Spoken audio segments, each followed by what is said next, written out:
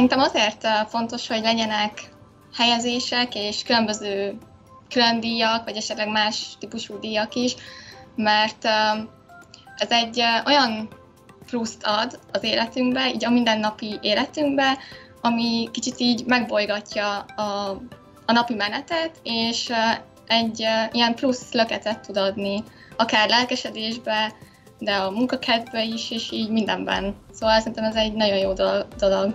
Alapvetően mi itt proteomikával foglalkozunk. Ez egy olyan tudományág, amely a, a fehérjék, a fehérjék vizsgálatával foglalkozik. A, a fehérjék egy általános szabályzó szerepet töltenek be szervezetünkbe, és egy szervezet, egy sejt, egy sejt, sejtkultúra, fehérje állománya folyamatosan változik. Változik a, a fehérjék az is változik folyamatosan, hogy mely fehérjék vannak éppen jelen az adott szervezetben, de az is, hogy milyen mennyiségben.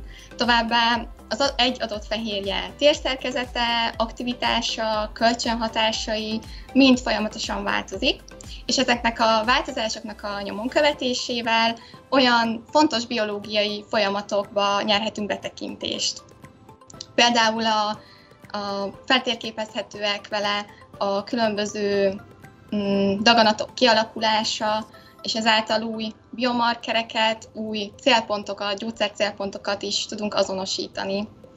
És CDK munkámban a, a fehérjének egy különleges módosításával, a foszforiláció vizsgálatával foglalkoztam.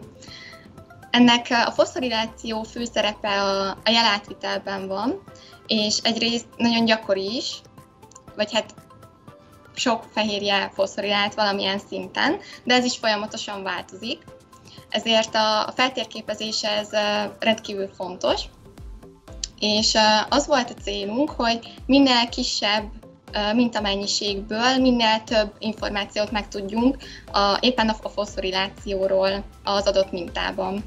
És erre dolgoztunk ki egy, egy módszert. Ezzel a módszerrel a jövőben szövetmetszetek vizsgálatára fogjuk használni, és ez közelebb vihet minket új gyógyszercélpontok azonosításához, vagy sikeresebb terápiák kidolgozásához, a, például a tüdődaganat esetében.